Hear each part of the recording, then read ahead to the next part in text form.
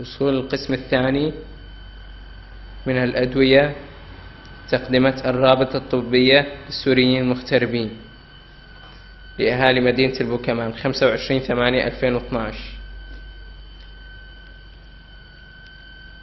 الأدوية بقيمة 279350 ليرة سوري. جزاهم الله كل الخير.